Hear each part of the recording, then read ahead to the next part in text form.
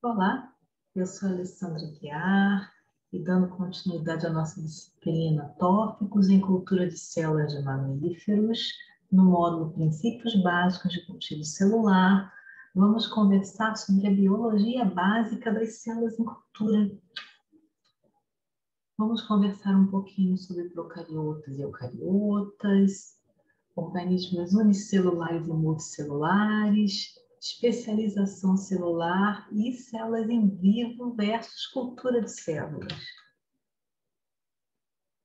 Nessa representação esquemática de uma célula procariota, nós vemos que é uma célula que tem uma organização intracelular não muito complexa, não há presença de organelas, e nós sabemos que é um tipo de organismo que vive de uma forma independente, ao avaliar a célula do eucarioto, né, que a gente já observa a estrutura intracelular e complexidade com as organelas, complementarização de funções.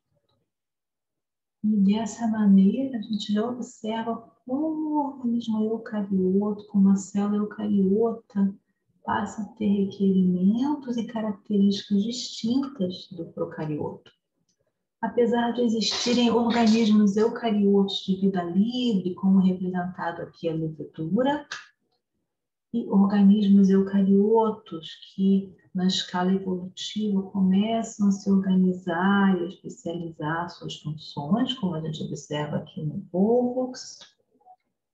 E quando nós começamos a avaliar a complexidade, né, aqui temos um tecido complexo, como tecido intestinal, onde a gente observa que as células interagem entre si, elas têm contato com o meio externo e também com o meio interno do órgão, demonstrando essa complexidade tridimensional e também de função celular.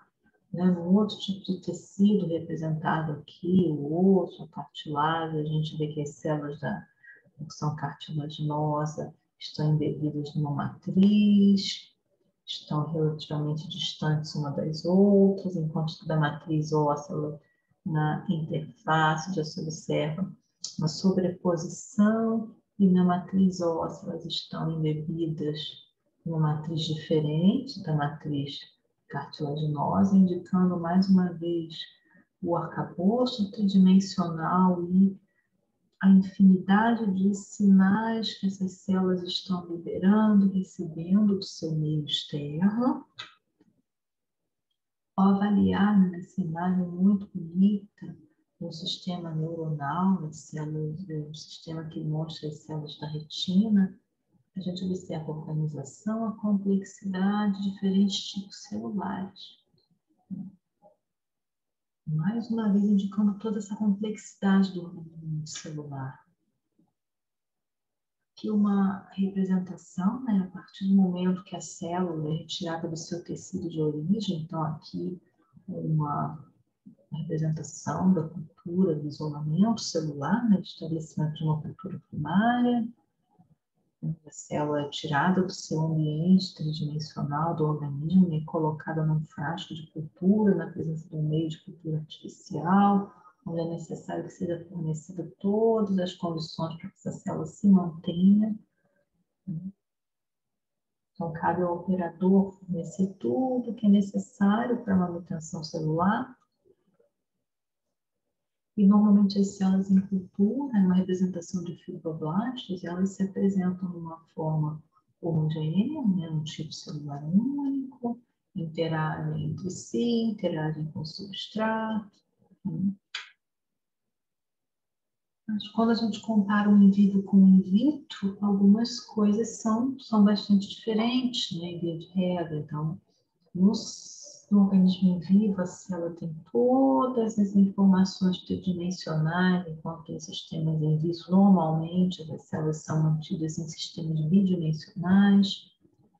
As interações com diferentes ciclos celulares presentes no tecido normalmente são perdidas, como se tem linhagens homogêneas. Da mesma forma que não há sinalização neuroimunoendócrina in vitro. Então, com essa aula introdutória de biologia básica, né, eu coloco algumas questões para vocês, entre elas as principais diferenças entre in vivo e in vitro, alenquei algumas poucas, né? Sugestão também de vocês pesquisarem outros exemplos e novos sistemas que buscam aproximar cada vez mais os sistemas in vitro dos modelos do, dos organismos em vivo. Eu trago uma afirmação e eu gostaria que vocês comentassem a opinião. Os sistemas in vitro representam plenamente seus organismos de origem e os resultados obtidos devem representar 100% do que acontece em vivo. Gostaria que vocês comentassem. Né? Essa é a bibliografia básica utilizada para a elaboração dessa aula. Foi elaborada por mim, com apoio técnico do Manuel, da Nátia e do Wagner. Continuaremos estudando princípios básicos do cultivo celular em nosso próximo vídeo. Até lá!